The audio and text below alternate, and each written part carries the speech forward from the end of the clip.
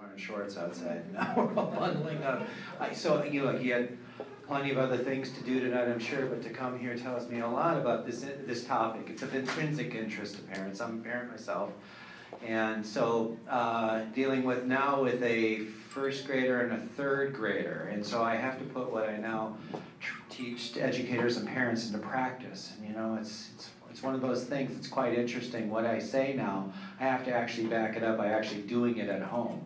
So I can, what the purpose of today is to give you an overview of something that's very important. It's stress management. Oh, by the way, how many of you have ever experienced stress before? Oh, good, I'm glad. So I'm not speaking just by myself. Yes, stress, of course, it's ubiquitous. It's in everything that we do. I want to walk through um, the idea of what perhaps students are experiencing when we think about stress and anxiety. But first of all, I want to talk a little bit about this idea of health. We all talked about health. Let's go back 250 years ago, even in Cincinnati, Ohio. What do you think the life expectancy was back in 250 years ago in Cincinnati, Ohio? 50. Yeah, you're pretty close. You're actually overshooting the mark a little bit. It's around the early 30s. But if you think about why that would be, 250 years ago, if you got a cut, what happened? Infection. Yeah, you better pray you didn't get it infected, right? What about the water, the air quality?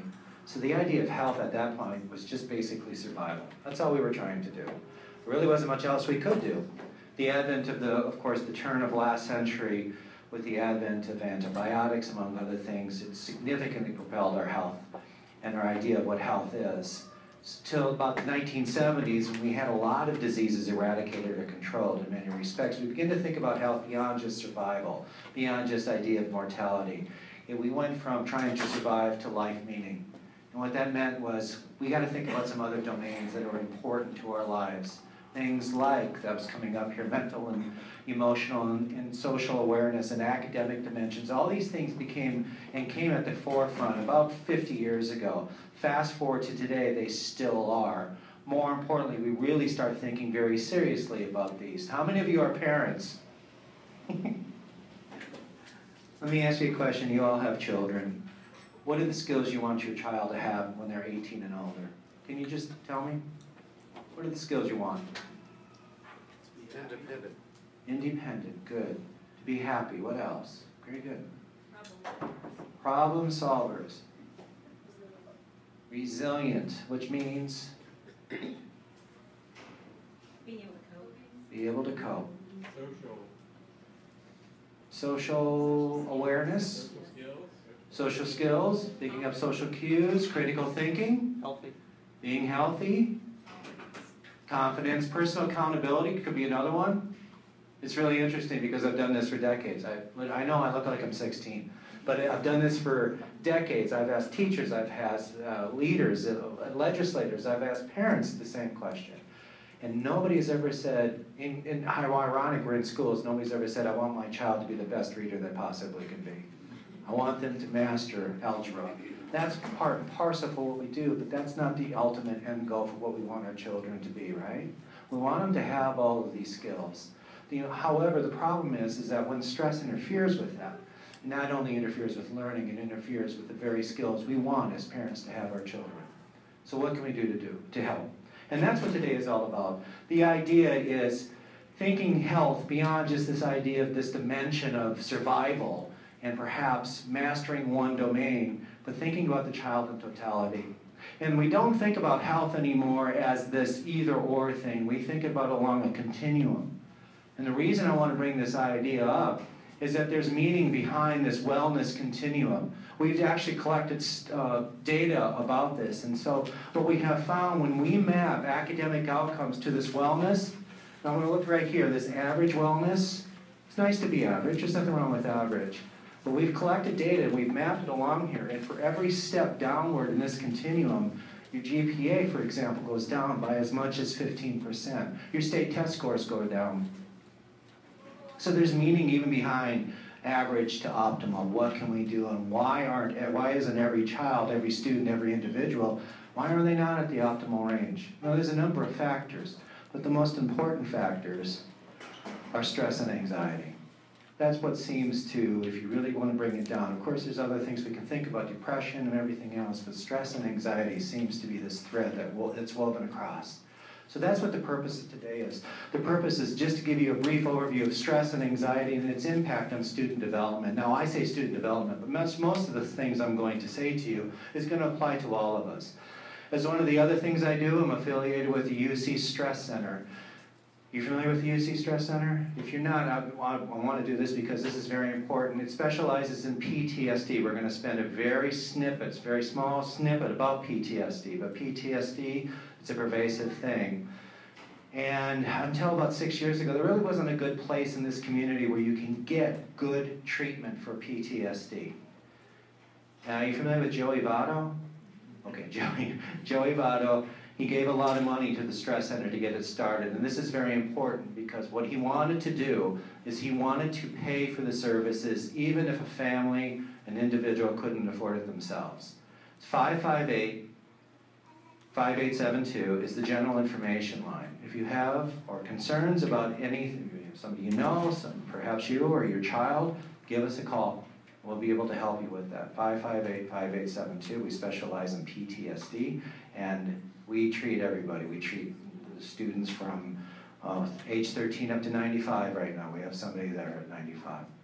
So it doesn't matter. And it doesn't matter whether they can afford it or not. We'll be able to pay for it. So I want to make sure that's my community service to you. So thanks a lot. Have a good night. So let's talk a little bit about the idea of what we can do to help in terms of empirically based suggestions, things that you can try at home. Now, I'm a psychologist. I'm one of these guys that can talk about what we do in therapy. But you know, a lot of the stuff that we do in therapy are the very things you could apply at home and in the classrooms that we do already. So I want to make these suggestions pragmatic but effective. So I want to leave the end of this session, end of this hour, to talk about some of the things you can try at home that seem to be important. But as you can probably tell from my annoying nasal twang, I am not from here. I am from South Dakota. How many of you are from South Dakota? How many of you ever seen the state, state of South Dakota? Good for you. So there's actually three people who live in South Dakota, and since I'm here, we have to shut the state down for eight hours. I usually get a better laugh than that. This is not going very well. Not going. so um, the reason I bring that up is after about 15 minutes of hearing myself talk, I start to annoy me. So please, I want this to be a, mon- a dialogue, not a monologue. If you have questions, raise your hand happy to help. All right? So let's talk about stress. Of course, stress inevitable. We can't escape stress. We can't escape adversity. And actually, a certain amount of stress is normal. It's important for us. We can't do very well without a little bit of stress in our life. Of course, that's for students as well. For those of us who remember back then when we had to cram for a test, there was a little bit of element that was important. That stress is important. We cannot avoid stress.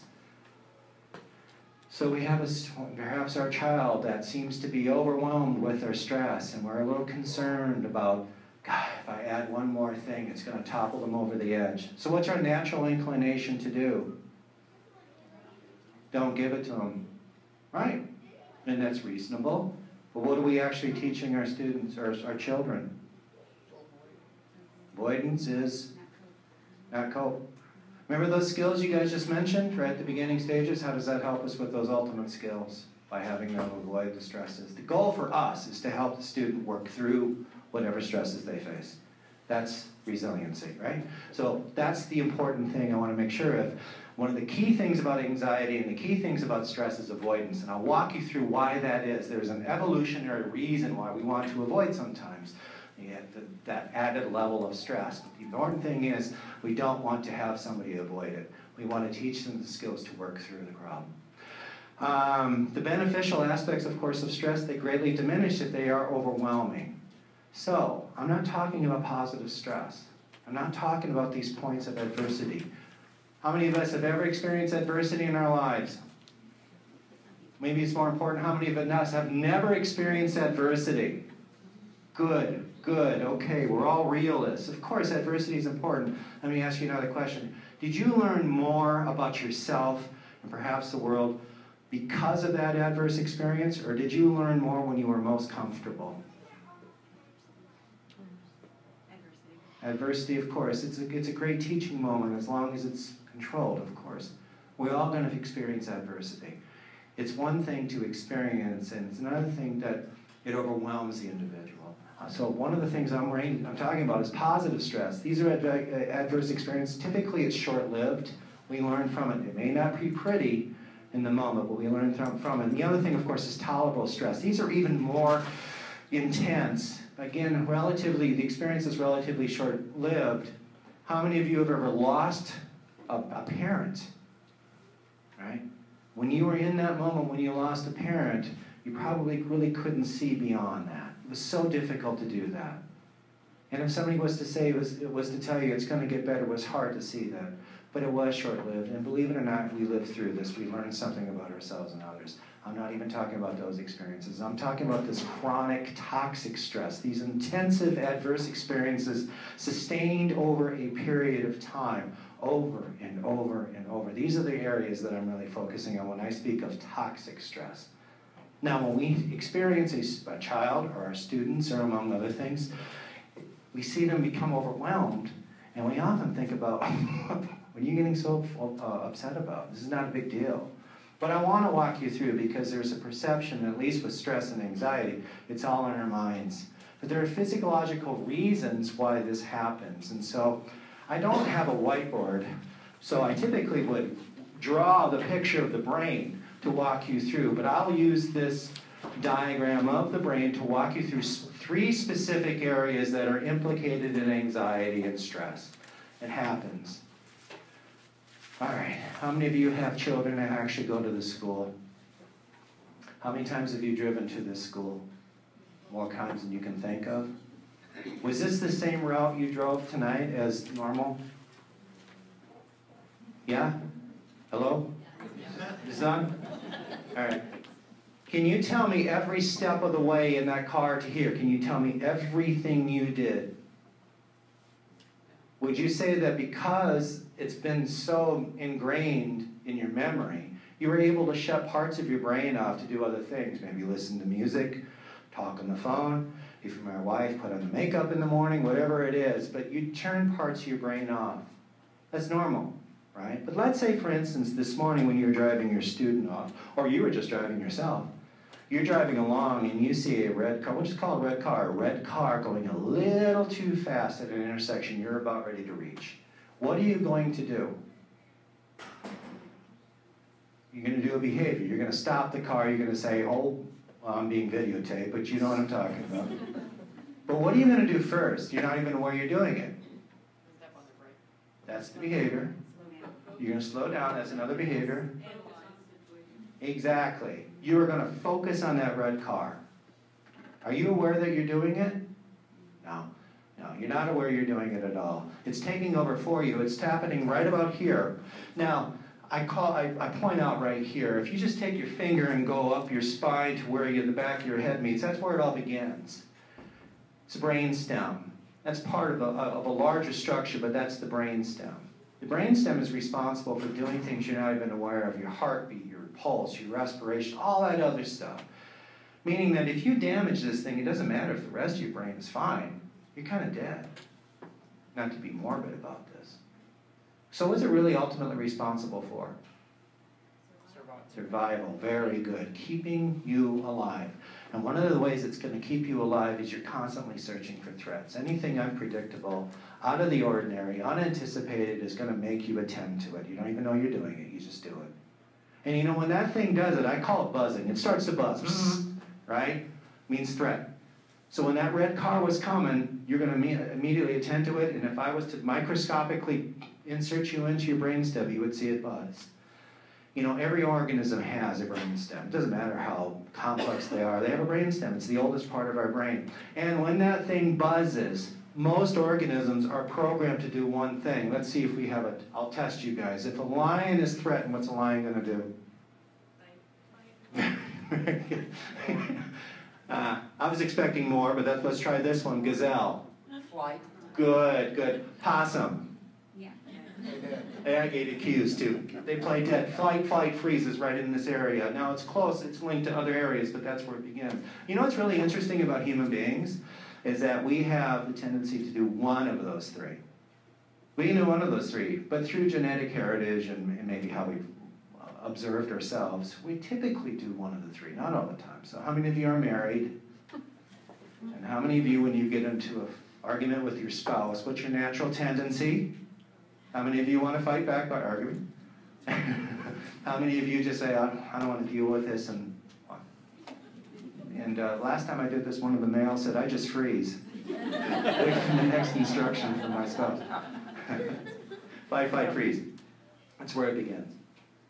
You know what? I, I, I mentioned um, that was a physical thing, wasn't it? That, that car. But most of the things that we experience with our students, or even when we get upset, how many times are we being physically threatened? So, you know what's interesting about this brainstem? It doesn't care. It doesn't know what the difference between a physical threat and a psychological threat is. It just sees threat. It doesn't know if it's real or if it's memory. You know, a lot of us times we, we think about something and that could elicit that threat. It doesn't care, it just sees threat because it's unpredictable, unanticipated, it will threaten, it will try to program you to respond. So I think about these things, and uh, I'm writing a book right now. Uh, and the book is, is talking about what I think are the universal rules of human behavior. And there's, I, I could, you can help me out. Can you help me out here? Because I have this argument with my wife. I say there are three fundamental human rules that if any one of these things are violated, that's usually we get upset because it's a threat to our survival. The need to look good, the need to be right, and the need to belong. Think about any time, last time you guys got, any one of you got upset, which one of those rules was being violated? Need to look good, need to be right, need to belong. Now, my wife argues with me. She says, you have missed another one the need for fairness or the need for justice. So which one is right, me or my wife? I see, I always knew that. Ever, never had anybody say, You're right, Dr. Gilman, and your wife is completely wrong. But between me and you and that video camera that's taken me, can we just say I'm right? Good, I'll tell her that. So the need to look good, the need to be right, the need to belong, and the need for fairness, any one of those things sends us into a tizzy. Now that's the setting stage. That's not anxiety, that's just the setting stage.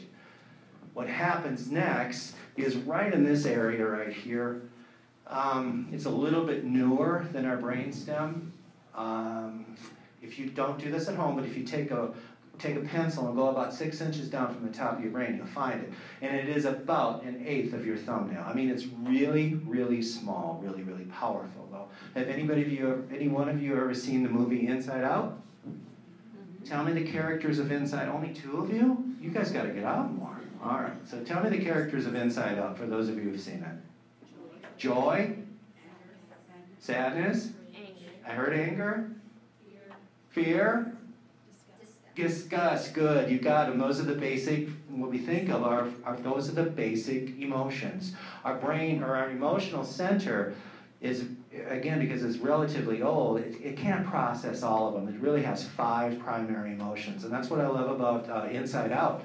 I don't have to spend 45 minutes talking about it. You just remember the characters. Those are the basic ones. It's not like those are the only ones we have. So think of a color palette. We have secondary emotions too. What do you think jealousy is? What's a combination of? Anger plus? Yeah, that's, that's what we think. It's anger plus fear. So it's combinations. But more importantly, when this thing starts buzzing, it automatically sends an impulse to our emotional center. Let's say, let's put yourself back in that car. You're about ready to hit that intersection. Here comes that red car at you. What's the emotion you're probably going to experience? I would hope fear. Yeah, right. Completely rational to be fearful in that moment. That's the key, right? What was happening is that that thing was going, and because it was doing that, it really carved a channel to the fear network. So let's say, for instance, you didn't get hit, thank goodness, but tomorrow you're driving, you see another red car. Not that red car. It doesn't even have to be the shade of that car, but it red nonetheless. What emotion are you going to experience? Fear. It wasn't going any fast. It's just the idea of looking at that made this thing go bzzz, and because it already carved a channel to your fear network, it's easy to experience the same emotion again. You know, that is so powerful. There's been studies and that have been conducted where we have put 65 and 7 year old individuals in an fMRI. Are you familiar with an MRI? Right, that small little tube that if you're claustrophobic, good luck to you.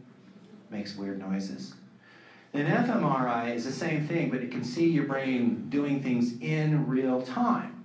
So we've taken these 65 and 7 year olds, we've put them into the, um, to the tube.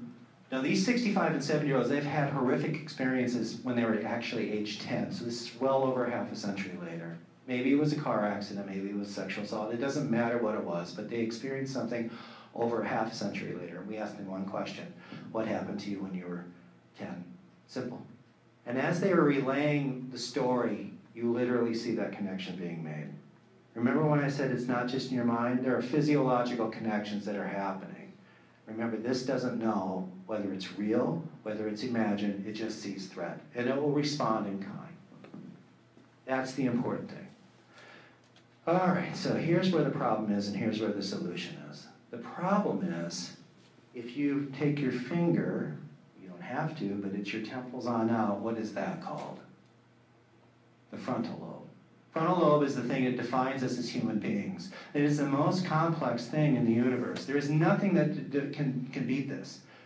Now, if that's indeed the case, and by the way, it doesn't fully develop until mid 20s, what is it responsible for? You're doing it. Cognition. Yeah, thinking. It's the boss of everything else. It is able to keep our emotions in check if we allow it.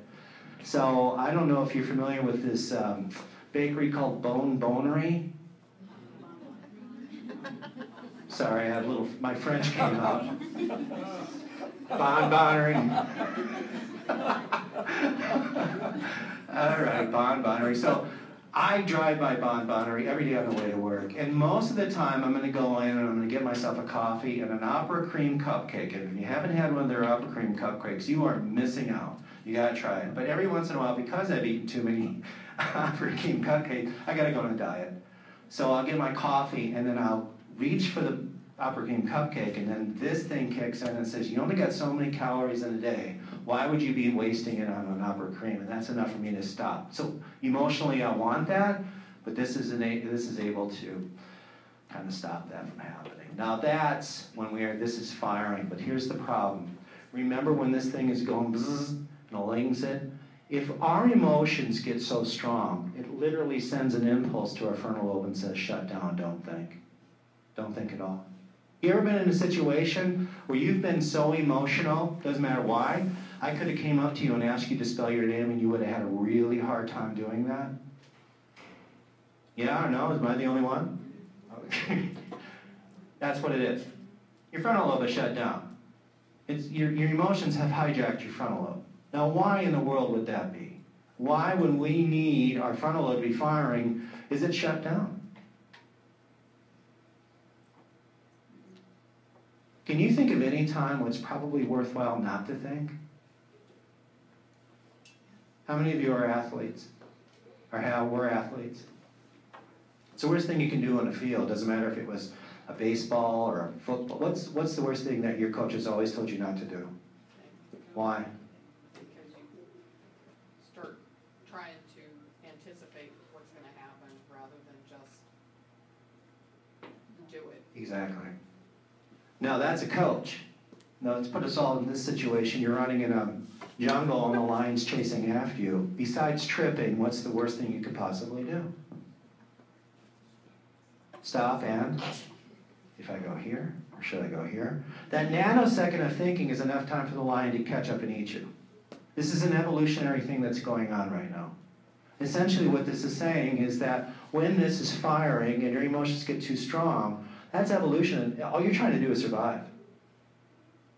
Again, it doesn't have to be a physical threat. In the moments of those psychological threats, the need to look good, the need to be right, the need to belong, the need for justice, those things can become so powerful for that individual. This just wants to get you out and survive another day. The reason I'm bringing this up is how many times do you reason with your child when they're in those moments? Using your words, talking to them. How many times do you do that?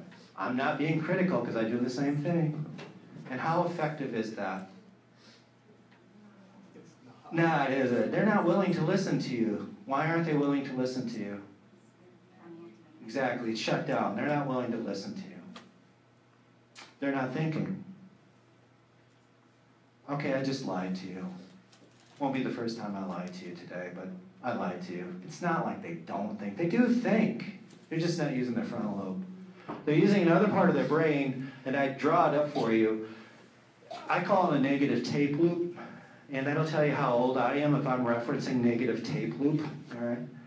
A negative tape loop is essentially we all have them. It's not just our kids. We all have them. Our negative tape loops is kind of like a chest we've been carrying around since we can consciously remember. And it's all this, all this stuff we've been saying about ourselves and what we think others have told us and all that. And we've been carrying that around, and none of it's pretty. Have you ever hit your shin on a coffee table? What do you tell yourself besides ouch? Why And what do you- Stupid. Yeah, this is stupid, otherwise known as or implied as I'm stupid. I'm an idiot. Right? Really strong stuff. Not necessarily true, but in that moment, those are those negative tape loop thoughts. How many of you time, how many times have you worked with your child trying to understand what they're saying and they're telling you negative tape loop thoughts? Things like never, this always. If I do this, this is what's going to happen. Those are negative tape loop thoughts. So it's not like we don't think, we do think, but we're not using our frontal lobe. And they're automatic thoughts. We don't even know what's in that chest. Point of it is, however, is how many times do we try to talk the student or talk your child down? Oh, come on, that's not true. And how often does that help? I'm only setting the stage of reality the way we see it. It's just who we are. But please know that there are physiological reasons why we do what we do. We just don't do it. By the way, can I tell you the secret of life? Hello? Can I talk to you the secret of life? Now I can't really, I can't draw it here, but I'll walk it through. Here's a, here's a quiz for you. Do you think that we do behaviors just for the sake of doing the behavior? We just impulsively do it. Or are there reasons why we do our behaviors? Yeah, we may not know what those reasons are, but they do happen nonetheless. Let's label that A. A is the event. So at the beginning of every behavior, which is down downstream, something has to cause. It could be a memory, it could be a statement, it could be something, but it's an A nonetheless. And here's where we get it wrong, in my opinion, especially therapists. we get this wrong because we want to focus on your feelings. Tell me how you feel. Label your feelings for me. Yeah, so you can do that. And most of us think that A will automatically lead to a feeling. Let's label that C. C is our feelings. The five emotions I'm talking about. A leads to C. I'm missing a letter. What's a letter? What do you think B is? No, B behavior is the end, end result, but that was good. You're doing it. For those of you who are still with me. You're thinking, right. Secret of life is A leads to B leads to C. An event leads us to tell ourselves something about it. And that automatically, whatever we tell ourselves, leads to an emotion. And whatever that emotion is, leads to the behavior. The goal is less about C, our feelings, because that's just a natural output of what we tell ourselves. If we can get ourselves to consciously start thinking about what is in that negative tape loop, we've got half the game won because we are thinking. Does that make sense? So rather than trying to talk your student down or your, your child down, this is what I do, and this is what we do all the time, and this is what I teach all the time. One simple question What are you telling yourself right now? Now, why would I have? Why would you want to do that? A simple question, neutral question. What are you telling yourself right now? Why would you want to do that instead? Exactly. First of all, they're not used to that. You just threw them a curveball. You throw them a curveball, they, whatever motion they're in automatically stops because they're expecting you to do what you've been doing, right? Which is talking them out, whatever else it is.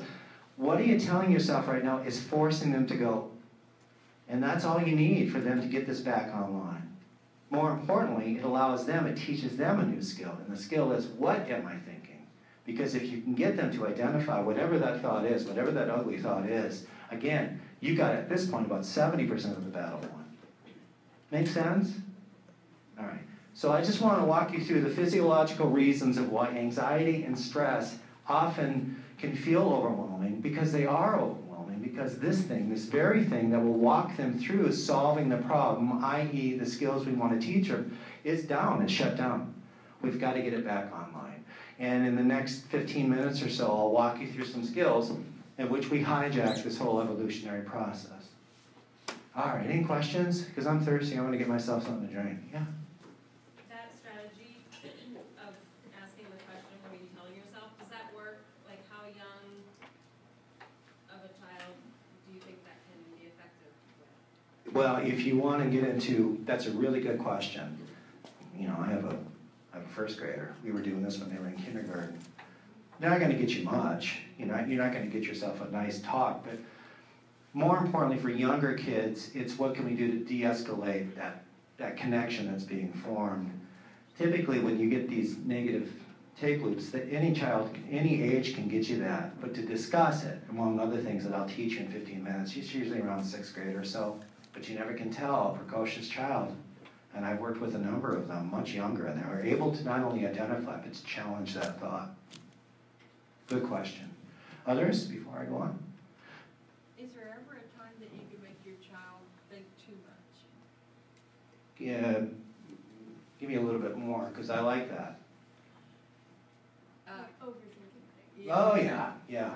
It's not so much that it's overthinking, it's what are you thinking about, right? That's the key. And typically, this is the problem with the negative tape loop. Again, we don't know what's in that negative tape loop, and it's all this stuff. And it's easy to, these negative tape loops, these things we've been storing, the most recent ones are fresh, so we're able to do that. But if they don't work, we'll just keep digging down. we'll go way back in our past. This oldy, moldy, smelly stuff doesn't matter. If, it, if the shoe fits, we'll apply it. We're really good about beating ourselves up. I don't know why. And what's going on here? Let's say, for instance, my thing is, I violated that rule of looking good. I know I'm not looking good right now, right? And if you're a parent comes at me very well meaning and tries to interject yourself into that, what could I possibly be interpreting that as? I'm right. I don't look good. I don't look good, and now I got my parent coming to me to tell me this stuff. So you see how it can perpetuate? And now we're into this whole spinning thing, and that's what's going on. It basically, that tape loop, I'll just put it right here, does this. Now we're kind of like in a hurricane. And nowhere in this thing, as long as it's doing that, are we able to activate the frontal lobe. We've got to do something to activate the frontal lobe. And the way to do that is not by overthinking. It's just simply by asking that. That stops that loop from going on, if that makes sense. Make sense? The idea is understanding what are you telling yourself? What? Okay. So, oh, everything I just told you is now in animation. Isn't that great? I did that myself. I was very proud of myself. It's the only thing I know how to do. So i am real quickly here. And, I mean, you could we could all admire it for a while, but more importantly, let's talk about these physiological changes due to the stru- to, to the toxic stress itself. It can disrupt neural circuitry. The most important one is uh, cortisol. Are you familiar with cortisol?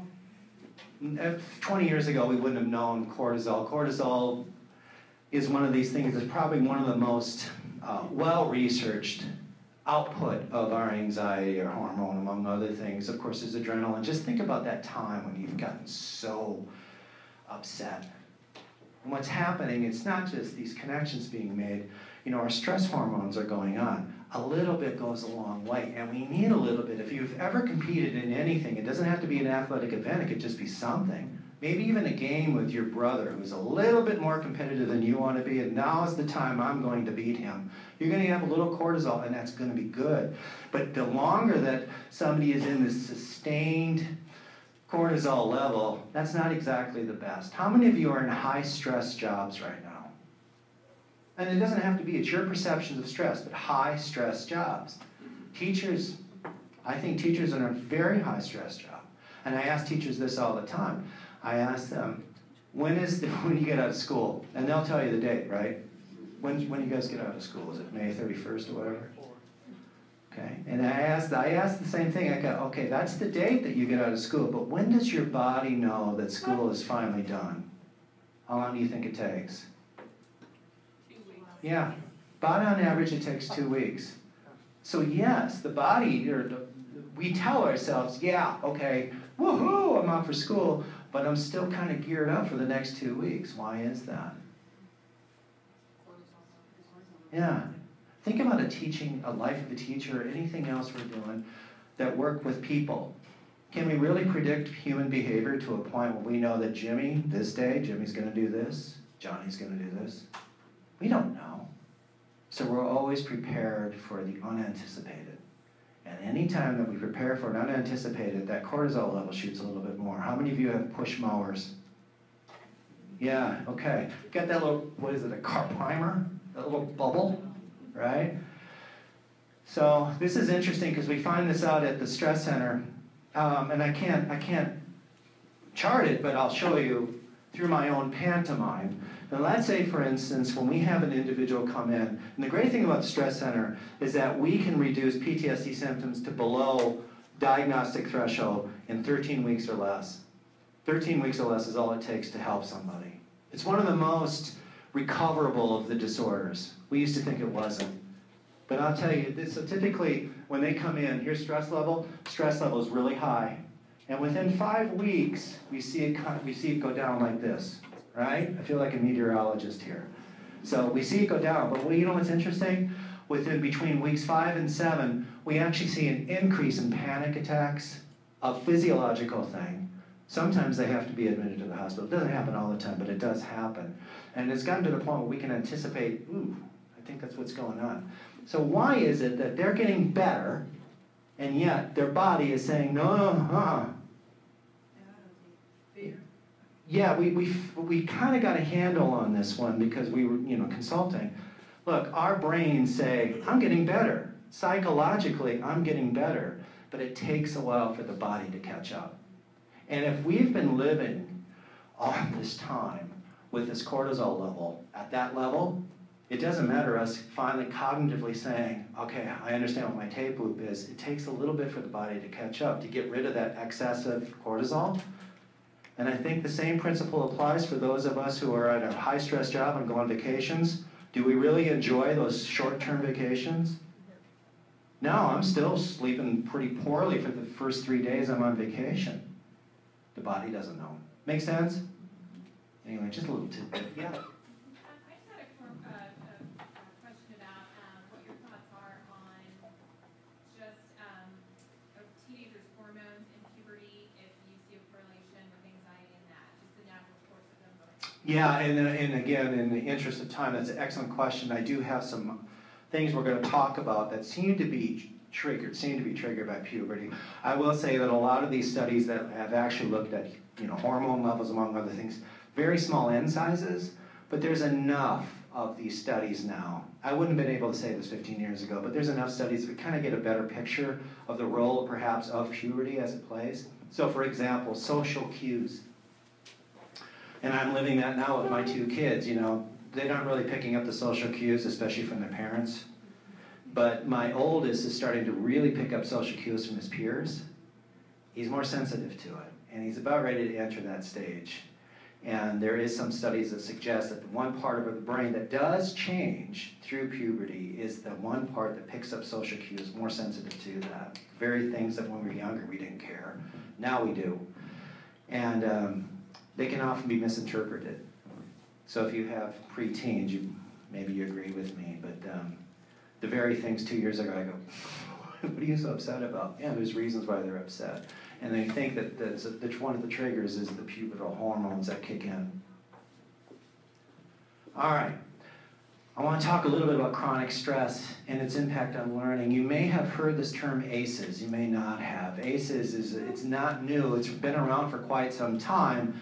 It probably is the most um, uh, well, is one of the largest studies that have actually looked at the impact of stress in the form of trauma, traumatic experiences on outcomes. And uh, the reason I'm bringing this up is that there's still follow-up studies on this one, and we use this to kind of glean what does stress look like and, and its impact on learning and development.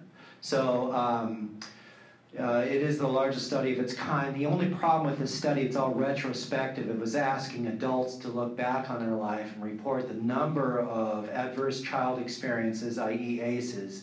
And when they did that, they were able to um, categorize into really three groups. One, of course, is abuse, physical, emotional, and sexual, and then neglect. And then the, all the other things that individuals are reporting, for example, if my parent was incarcerated, of course, that's a very adverse experience. And so over there, you have the outcomes. Um, you know, it went from basically no adverse experiences of those 17,000 to 12.5% of those individuals experiencing four or more. And there was a correlation between the number of adverse experiences and outcomes. So I want to point that out. So, for example, one of the biggest things about stress, i.e., trauma in this case, is that it impacts all kinds of memory. And of course, if we think about learning, we think about academic achievement, memory is a huge component.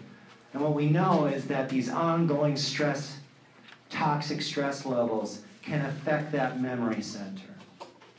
What we are finding here is it's not just one form of memory, it's multiple memories.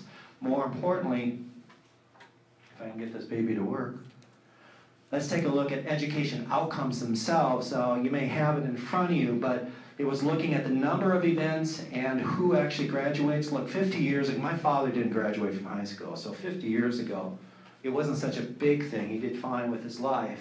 It is huge. You have to have your high school degree. But in terms of this outcome, and this is relatively recent, what group up there is most likely not to graduate from high school? Those who have multiple adverse child experiences. Now, here's the problem I have with these studies. There's nothing wrong with it, by the way. Here's the problem I have is that the, it's a correlational study. It's looking at the number of verses. But we are also finding it could be one. It could be a big one. If I'm in a car accident and a near-death experience, oh yeah, that's going to affect me quite a lot. So it may not necessarily be the number, it may be the intensity of the experience itself that does the same thing. And more and more research is coming out to, support that. Everything's retrospective, but follow-up studies, we're looking at percentage of children with adverse experiences who are currently expecting or experiencing significant academic problems. And again, there's a correlation. The more adverse child experiences there are, the more dire academic outcomes there are. So there is a difference. There is a huge thing. Now, I'm talking about traumatic experiences. That's, I want to make sure I'm under, you're understanding that. I'm talking about stress, heightened levels. But I'm also, one of the biggest criticisms I have about this is what was being reported by these 17,000 individuals and what is missing. What is an important part of your child's life, in all of our child's life? Think of those three, I'm going to say three, three universal rules. And one of those is missing. What do you think it is? We've got the physical, we've got the emotional. What's missing? Thinking? No? Safety, We're all together. social. Social. Social is huge, right? The need to belong. There are fundamental things in our brains that are wired to protect against the threat. Even the thought of being ostracized makes this thing go threat. The social connections. And the reason I want to do this is that social rejection is one of the most strongest and most common traumatic, stressful experiences. I'm bringing that up because most of my research right now is looking at this the power of social connections and lack thereof.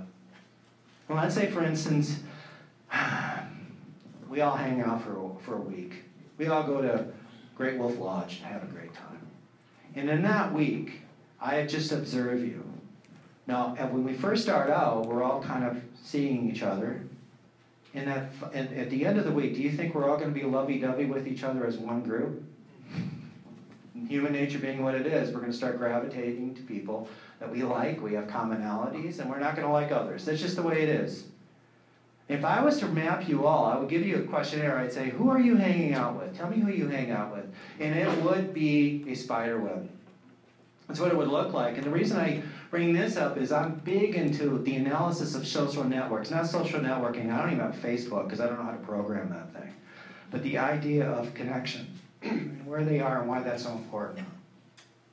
So in South Dakota, as I mentioned where I'm from, there's not much to do in that state, especially in the winter. So you play basketball.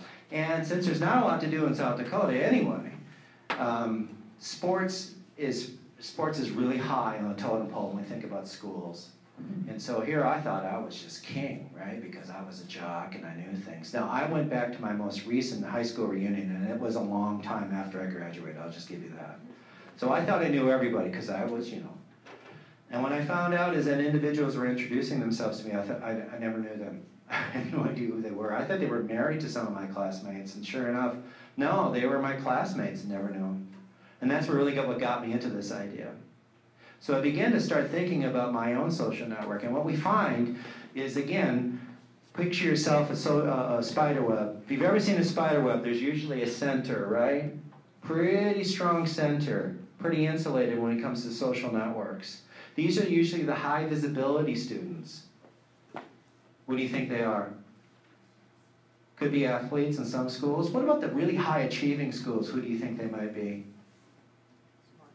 Smart kids, right. Uh, my wife graduated from Walnut Hills. Any Walnut Hills graduates here? Sorry.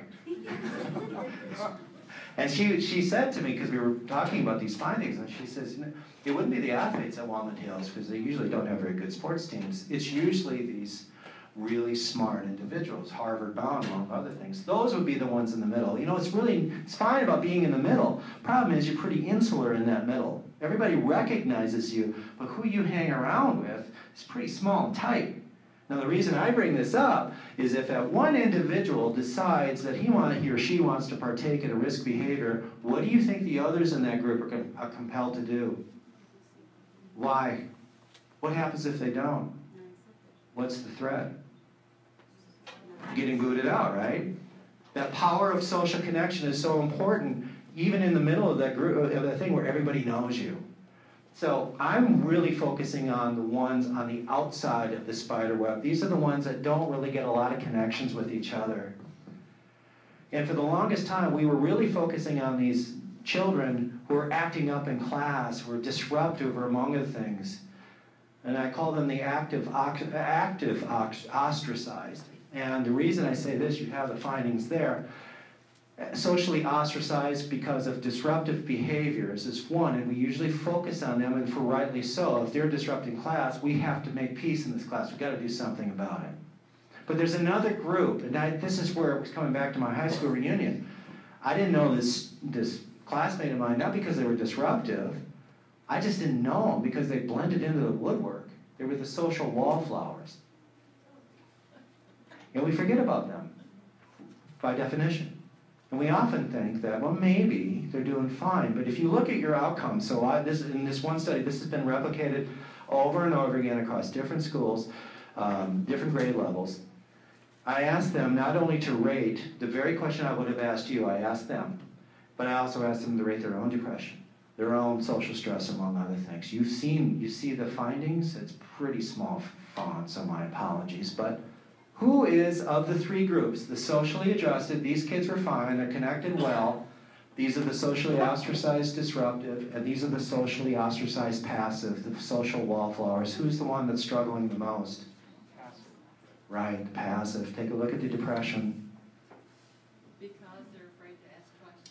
Could be a number of reasons why, but I'm gonna, I lied to you. This is a, this is a, this is an error of omission. I didn't include one variable up there. And the variable I didn't include was GPA, actual GPA. Who, of these three groups, which group has the highest GPA? The ostracized. Passive. So to us, parents and to teachers, what does this group really look like? The model student. They're doing great in school. They're not acting up. They're doing fine. Yeah, they might be a little shy. But the point about it is, again, this has been replicated. This is not just one study, it's multiple studies. Some of these kids might be really struggling. So please don't neglect and neglect it. If your child is having a hard time connected, take it seriously. Make sense? As we go on. Okay. All right. So anxiety, stress, anxiety. Yeah. Can I ask you a question on that? Yeah. So how do you determine a, a, let's say a smart kid in this, how do you, how do you decide if they are in that category, that passive category with like a few close friends? Or if they're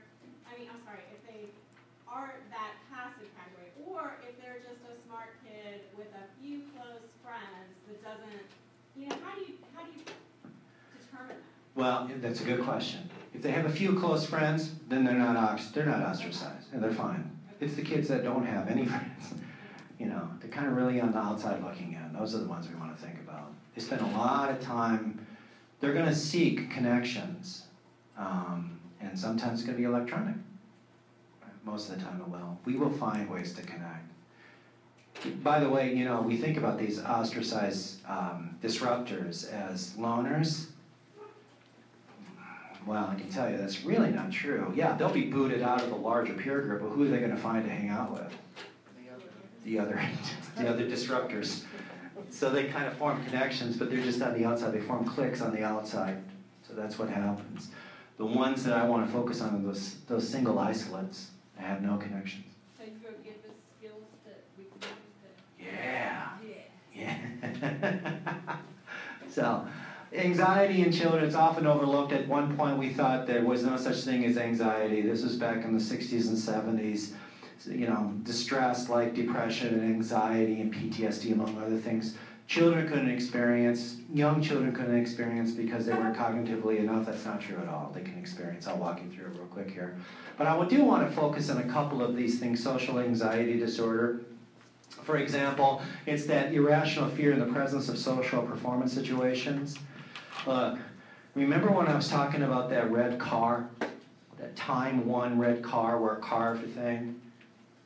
Are all of us aware of all of our stu- all of our children's time one experiences? No.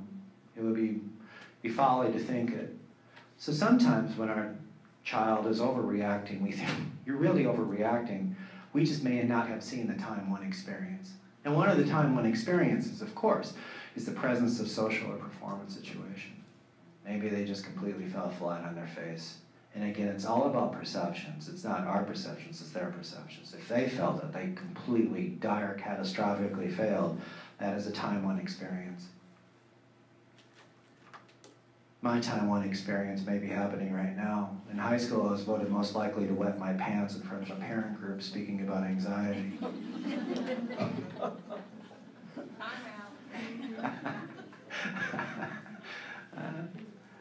So social anxiety disorder, this goes back to the puberty thing. We think that adolescent girls are slightly more prone to disorder than boys. Um, again, because of perhaps some of the pubertal changes that happen with the, the hormone and particular structures of the brain that govern social cues. Females much more socially aware at that age, at the younger ages than males are. Um, General anxiety disorder, excessive unrealistic worry and anxiety about a, number of areas. It's really common in, in use, uh, ranging about 10%. So these things are not small, even 10%. We're talking about how many children in America? Millions of kids. So um, one of the things I do want to talk about real quick here is perfectionism. Uh, how many of you are perfectionistic or have a perfectionistic child? You know, there's nothing wrong with being perfectionist. If I need a brain surgery, I want my doctor to be a perfectionist, right? But we used to think that perfectionism was a bad thing because it was destructive to have such high standards. But more and more of our research is showing there's actually two types of perfectionists. Both of them have equally high standards. I mean, really high standards in comparison to anything else. The adaptive perfectionist is able to accept when their performance doesn't match their standards. They use it as a learning experience. And they're driven by a sense of mastery. I'm learning. I know I'm going to screw up. But it doesn't get in the way of trying new things.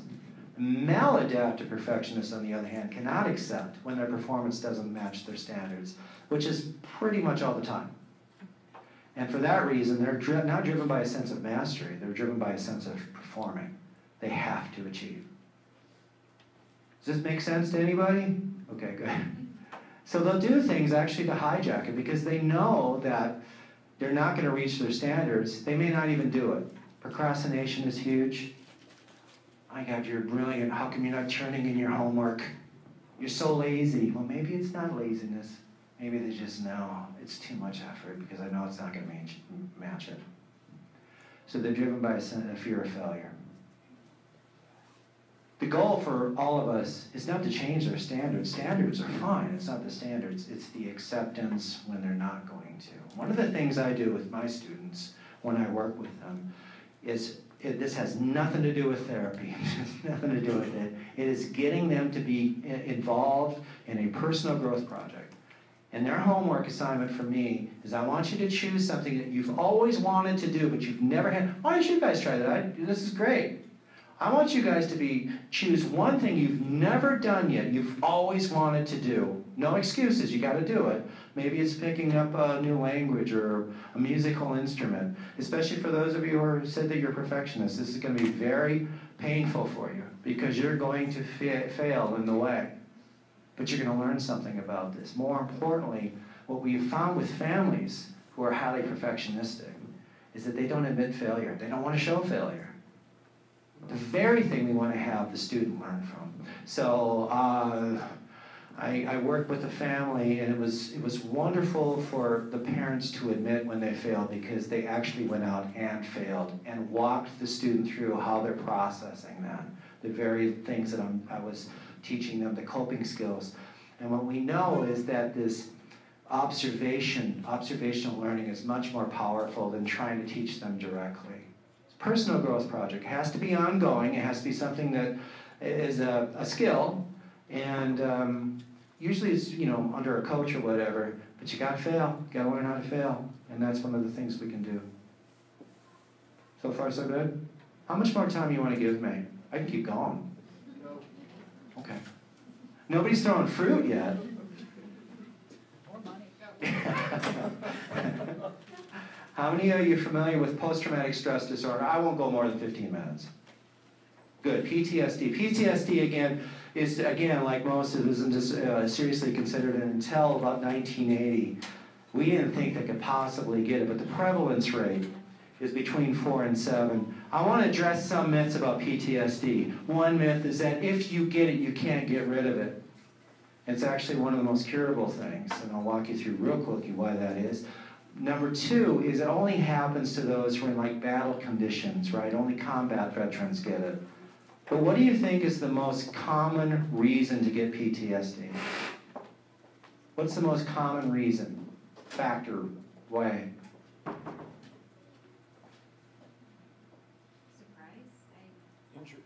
I, Injury, accidents. Number one.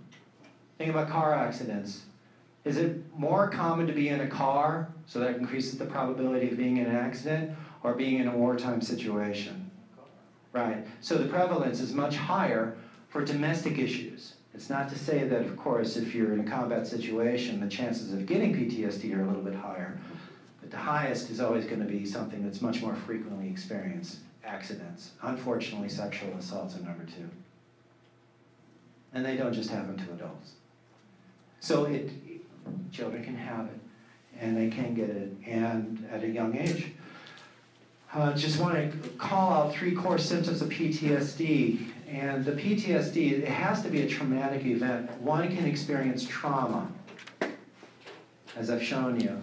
PTSD is a diagnosable disorder. It's much more restricted in getting a diagnosis. And essentially, it is either you or somebody you've exper- or uh, witnessed is exposed to a situation where they were either you or they were going to be either killed or seriously hurt, and that's all about perception. It may, you may not have been hurt, but if you perceive that, then that's the setting stage, the entry criteria to get PTSD. But even then, there are many, many individuals who have experienced trauma and don't get PTSD. There's other things that are happening, and it's much more current. Any reminders of the situation lead to uh, avoidance, symptoms of extreme arousal. So there's a certain criterion. The reason I bring this up is if you are suspecting your child or somebody that you know, give that call 558 5872. I feel like a telephone. 558 5872, and we can help you. So, okay? More importantly, resilient classrooms, resilient homes.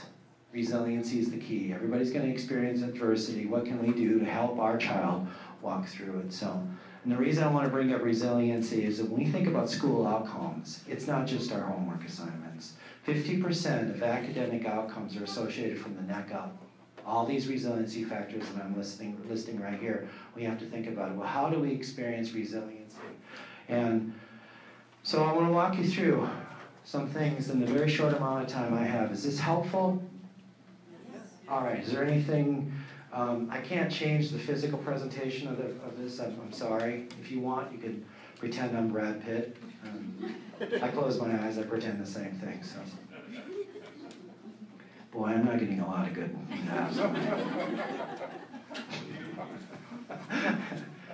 First things first, let's talk about what we, what we know that really works well in, in homes and increasing resiliency. And it's the importance of communication, right? The importance of communication. Yeah, it's so cliche-ish, but in the 1980s, he's still around. Gerald Patterson is his name. And he's an incredibly respected researcher out of Oregon. And I think he's 192 years old right now. And he's, he's been around for quite some time. But he was one of the first ones to really look at functioning and he was looking at families. And he was looking at factors that, that lead to a well-working family and a not so well-working family. And he found two factors. The first factor, let me ask you, what's your favorite movie? Oh my goodness, this is going to be a long 15 minutes. Ferris Bueller's Day Off. Okay, that's a good one. Sleepless in Seattle. Hmm. Sleepless in Seattle. Um, is there any men in the audience? Goodfellas, good. I like that. All right. Anybody else? James Bourne. The Bourne? Got it. If you notice, a good movie, the movie that you really resonates with you, there's really two reasons why it's so good. One is you got a great director. You got to have a good director. That director knows everything about that movie, knows the pacing, knows the thing, but every actor knows that they have to fall in line with the director. You forget about that. You forget about when you were looking at that movie, it's just, you know, people reading lines on a blank sheet of paper. But they have their roles down so well you get sucked into the story. So, in a really good, well working family, who's directing the movie? The parents, yeah. What do you think is happening in the not so well working family? Who's directing the movie? so the roles are flipped. The roles are flipped. So that was one of the things he was saying. But more importantly, and this is in the case of teaching resiliency and shaping resiliency, the ability to cope and work through whatever problem it is, it was the importance of communication. But it wasn't just communication, it was the kind of communication. And he got it down to a science.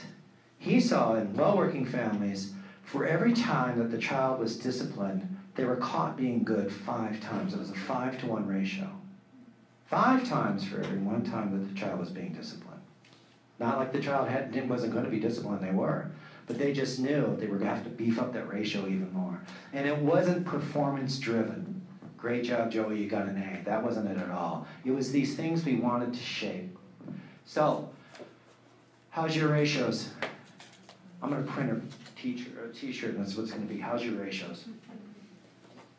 don't have to say it, but oftentimes in not so well working families, what do you think that ratio is? Negative. Yeah, it's usually, if you're lucky, if you got one, right? It's usually flipped. So one of the things we want to do is just keep the five to one ratio in mind. When you're saying something that's, all right, they're not doing that very well, what's the opposite of what do you really want them to do? Catch them being good, and you have to verbally reward them for that. Don't take it for granted. Verbally reward. It is amazing the power of human speech. There are, again, in our brains, they are programmed for human speech. We want to hear it. So that's one. Five to one ratio. Just focus on what you want to do on that one. But more importantly, let's talk about when your child is starting to escalate. Oh, when that train is about to leave the station. And how many of you try to talk him down? Try to? Good, good. And how effective is it? let's try something else. This is the audience participation of the, of the thing. I'm not going to let you get away with this without at least trying something, all right? Wow, you're really looking really excited about this. It's not a big deal. I just want you to relax. Just sit up straight. Just please relax. Just relax. Relax your shoulders. And all I want you to do is simply take a breath. Get as much air in your lungs as you possibly can. And when you've done that, give me a finger. Not the finger. Give me a finger. All the way up. And take two more breaths. Two more until your lungs literally hurt you. And let it go. Don't hold your breath, that's dangerous. And it doesn't have to be slow. Here's the problem with breathing. When I ask audiences, do you breathe? Yeah, I do. Does it work? Not really. And the reason is we don't breathe the right way. We have to breathe until this gets, we have to make our lungs hurt. And it doesn't matter how fast you are. I want you just to relax and try to make your, your breath, your breath, your lungs hurt three times in a row. Try it. Because I want you to get, I need to get something to drink. Make it hurt. Doesn't hurt, doesn't work. We do this in marching band. You do marching band, good. Yeah, we, we, we teach the kids to breathe until it hurts, you know? You're, you're ahead of the curve. If you want, you can close your eyes, pretend you're looking at a light bulb. And the reason I'm saying this is that it helps you focus on something. As your breath is getting more and more up, that light bulb is getting so bright you can't think of anything else. Try three times in a row. How many of you actually got three times? About 10% is usually. All right, why am I making your lungs hurt besides I like pain? Why is that? Your brain getting oxygen. Say that again. Your brain gets oxygen. Yeah, your brain gets oxygen. Focus on that. Right. Remember that evolutionary thing I was telling you about the connections? I don't have it back here, but the brainstem, the emotion, frontal lobe, real quickly. Brainstem starts to buzz. What's happening now? What's going to happen? It's going to make a connection to your emotions, and your emotions are going to tell your frontal lobe to what? Not think, shut down. We have to hijack this part right here to keep that baby going. If I make your lungs hurt, what, am, what are we literally forcing your brainstem to do? Right? Your brainstem is not very uh, complex. It's going to focus on the most proximal of the threats. If you can override it, especially if you can catch your child starting to escalate and just say, I'm not going to talk to you, we're going to stop and breathe. We're going to stop and breathe. And you're going to do it with them. And you're going to make it hurt. It has to hurt what's going to happen is that that brainstem is going to go, what in the world? And it's going to focus on the pain in the lungs. And when that happens, that connection to the emotional center is now severed. The frontal lobe automatically comes online. You're just hijacking the evolutionary process to your advantage. Try it. Powerful stuff. Now, your, your, your child is not going to be used to this. so you got to keep practicing with them. But this is a skill you can teach them. What if you like tell them to stop, but they don't, they just keep arguing back, Yep. Yeah, they're expecting. Remember, this is another thing about Patterson too. Is that we all are doing this thing. We all have parents. We all know what our dad did. On uh, if I do this, he's going to do this because it's manual nine. If I do this, my mom's going to do this, and she's on manual or page number twelve in her manual. We knew exactly what to expect from parents when we did something.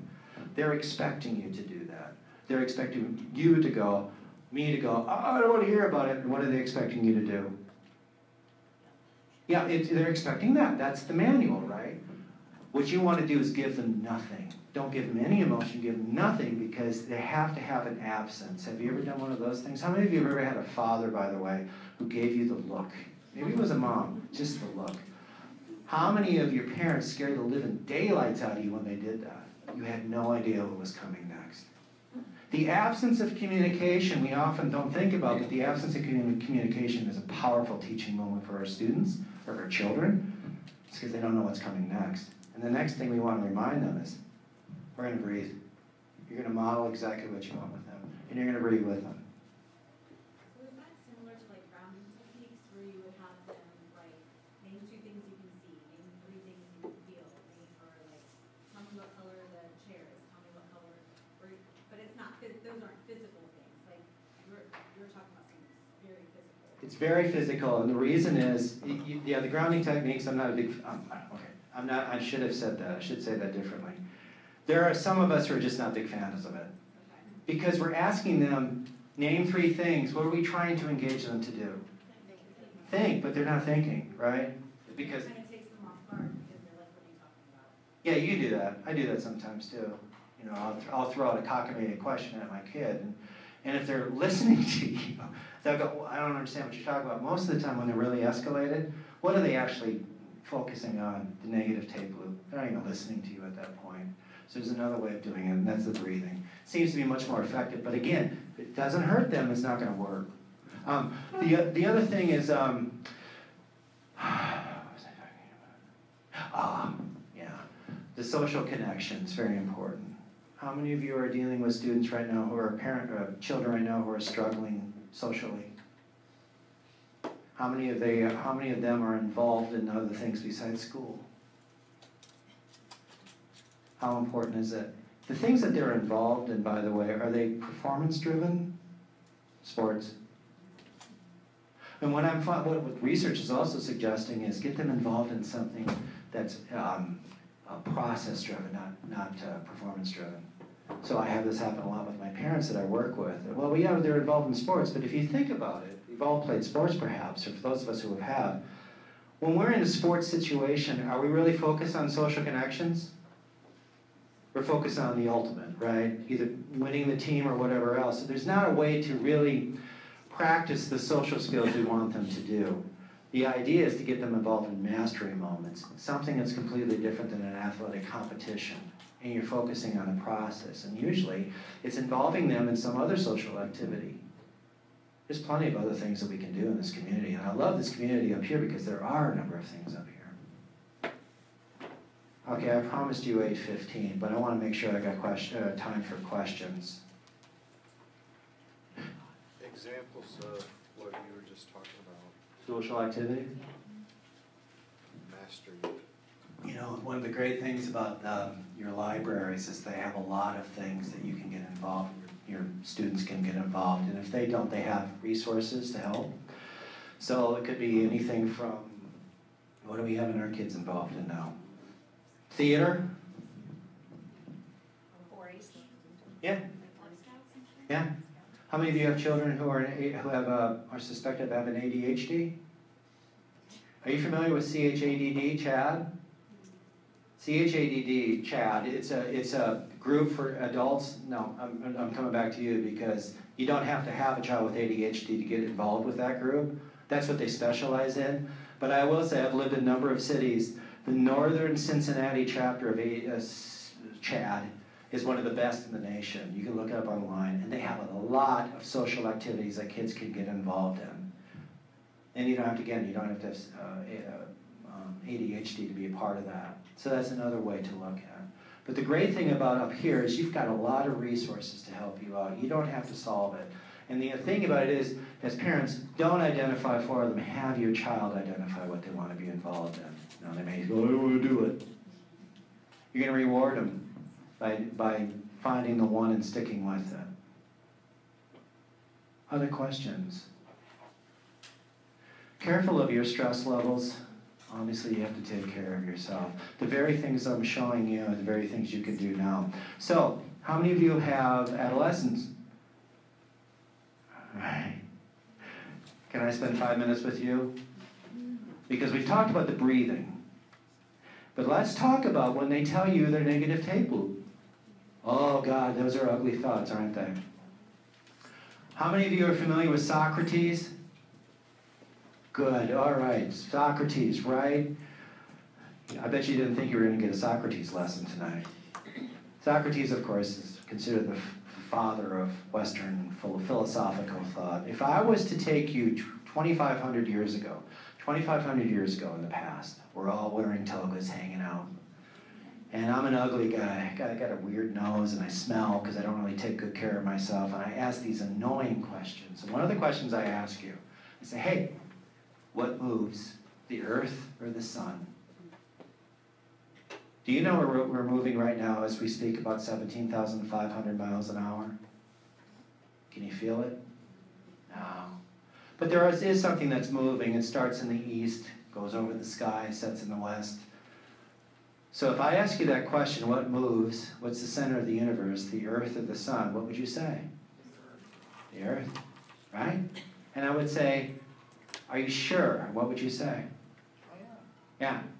You're using evidence, your evidence, your frame of reference to support that. So we came up with a thought experience. You ready for the thought experiment? Let's say you were born in a cave. You've been chained to a cave. You've been looking at the back of the cave. There's a fire that's projecting your shadow. You've never seen what you've looked like. You've never even seen anybody. You've just seen your shadow. And one day I walk in and I say, What do you look like? What are you going to base what you look like on? So, describe yourself. What do you look like? Ugly, misshapen, pretty tall. And I ask you the same question Are you sure? What would you say? You know what I do then? I do something really crazy. I flash a mirror in front of you and I say, Now what do you look like? What are you going to base what you look like on now? You know, After you're done freaking out. After you're done freaking out, yeah. After you're done freaking out, you're gonna base it on the mirror. What does that shadow mean to you now? Nothing. It means nothing, but it did. It did until that point when you gave him a different perspective. When I showed you a different perspective, your life has been based on your knowledge of the shadow. What do you think your negative tape loop is?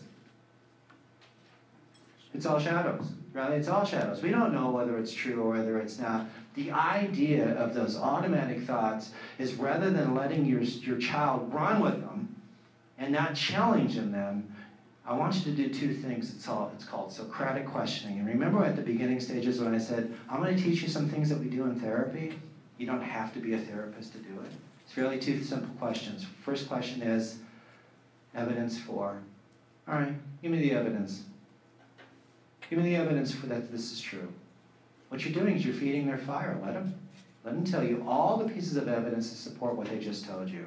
And it may be pretty ugly stuff. Let them say it. Evidence for.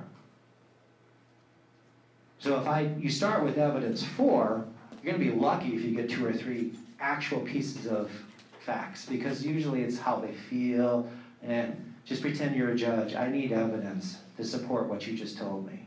I'm never going to get another date. I'm never going to get into Harvard. I just failed this math test. Tell me evidence that you're not going to get into Harvard. What am I showing? What are you doing at this point? Am I talking you down? No. No. Tell me evidence. Now, if I've done that, if I have done the evidence for, what am I going to do next? Evidence against. And what do you think evidence against is? It's the BS rule. It's all the evidence to suggest that's not true. It's not talking somebody out of it, it's using facts. It's using the mirror just to expand the perceptions. You ready for this? Let's see if I can do this, all right? This actually happened to me, so I'm going to find my center. I'm going to go back into this moment where I felt really horrible. Ready? Terry Teague broke up with me. I'm never going to love again. That's actually what I told my. Nobody loves me. Come on, Mom. Terry T broke up. Terry Teague broke up with me. This is good. I haven't been in theater in some time. Nobody loves me. What's the evidence of that? I'm really getting upset. I, I'm really getting. I, should I breathe? Should I breathe till it hurts? I don't know, you're an adolescent. so the first thing we're gonna do, if they start to get upset, what are you gonna do? I'm gonna talk to you until we breathe. Simple. I do this all the time. All right. Terry Teague just broke up with me. Nobody loves me. Why do you say that? I don't know. I just feel like it. You mean my evidence for? Yeah. Oh, I loved her. She was great. She told me she loved me until she, she, she broke up with me. She says she doesn't love me anymore. I don't. Nobody's gonna love me anymore. Evidence? Well, I can give you another piece of evidence too. you want to you want to exhaust the evidence for before you get to the evidence against, because if you don't exhaust all evidences for, that one rock that wasn't overturned, about a half hour from now they're going to go, oh yeah, I remember this one too. Yeah, Josie also says she did love me. So you got to keep going. All right, fine. Yeah, that's fine. Give me another evidence for. It's almost like you're leading with your chin. And you're getting them to learn, all right, what is the evidence for? What am I doing? I know it sounds kind of like, what in the world? But what are you getting them to do by these questions? Think. That's what they're doing. They're thinking. They're getting it back online. So let's go back to the evidence against. All right, evidence against. You know that Josie person who broke up with me? You want to learn anything more about that? Like how old I might have been? All right, I was in the second grade.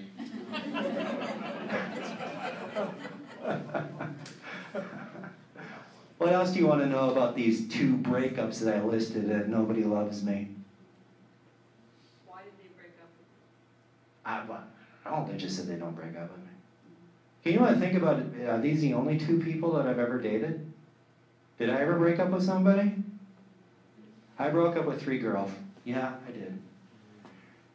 Two of which I said I didn't love anymore. Boy, may they gaga about me. Do you see what I'm doing? I'm not trying to I'm not trying to convince anybody. They're convincing themselves using their own evidence. That's Socratic questioning. By the way, you do it all the time. Have you ever gone out to a bar and your friends said something just like, what? And you catch them on it? That's Socratic questioning. You're actually using these very techniques. You just haven't applied them maybe to your, your, your child, but you can. Very effective stuff. Is this helpful at all? I'm not trying to make you therapist 101, but there are some very things that you can do in the comfort of your own home that can de escalate and teach them the very skills that we've been talking about at the beginning of this hour and a half ago. The very skills, critical thinking, personal accountability, working through problems, all these things can be done with these simple steps, among others. What do you do if they don't want to breathe because they know it's going to take them out of the moment? Well, it depends your next move. Your next move can either reinforce avoidance or it can say, I'm not dealing with this. We come to discuss this when you're ready to do this. But there's that five to one. If you can continue to praise and continue to practice when even they're not practicing, you know, just, I used to do this my kids all the time. We're doing something, hey, let's do a breathe. You know, they don't realize what I'm trying to do, and I'm trying to just prep them for when they actually need it. Because it's not going to come easy if all they're going to do is breathe when they need it. So it, your, it's your move that's going to dictate whether they continue with that behavior or they don't. So the second part, to tell me evidence against the blank, or, like, if the kids can't even go there, like, they can't come up with the actual truth, does it come from the parents, or like, well, let's Yeah, oh yeah, help them out. You know their lives, right? My mom knew that I broke up with three girls. Didn't you break up with three girls yourself? I thought you said that you they loved you. You broke up with them. They loved you. I don't understand this one. All you're trying to do is reflect the mirror back to them and get them to start making connections. Maybe it's not as bad as I thought. You have been wonderful. It's been 8:30. I know I kept you for an hour just out for my pay. I appreciate your time. Thank you so much.